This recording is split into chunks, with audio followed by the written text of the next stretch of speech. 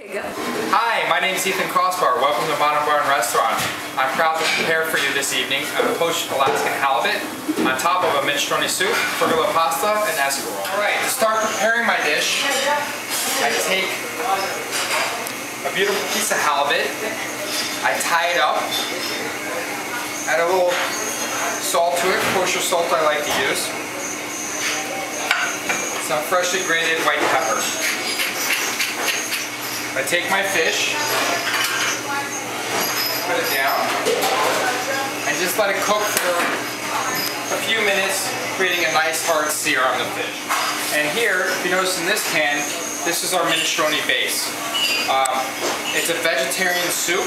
Um, I'm using it today as a base for on top of the fish. What we have here is uh, medium diced yellow squash, zucchini, eggplant, garlic, tomato, chili flakes, parsley, basil, and oregano. It's a wonderful vegetarian soup that I usually do in the wintertime. Once we have a beautiful sear on our uh, halibut, what I like to do is I like to flip it over. I believe this the charring of the fish or any item, the searing of it really um, traps in the flavor and gives it a nice crust, gives it a little crunch.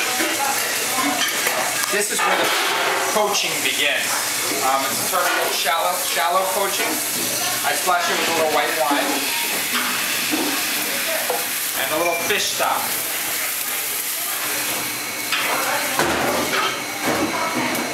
I like to add a little thyme.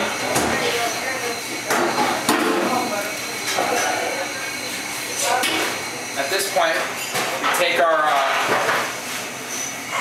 halibut and put it back in the oven.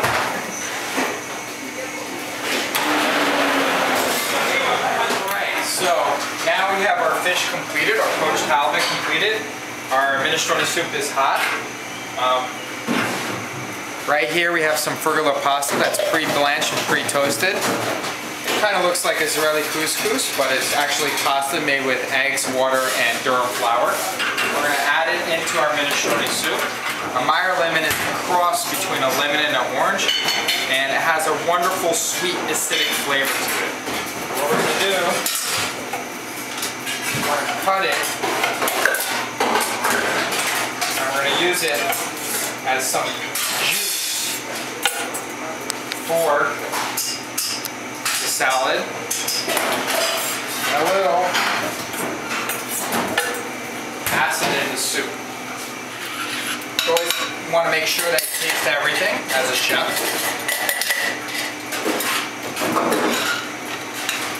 And the dish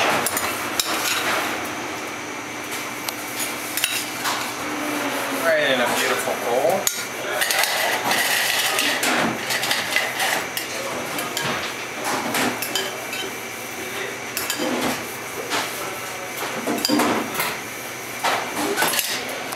the halibut.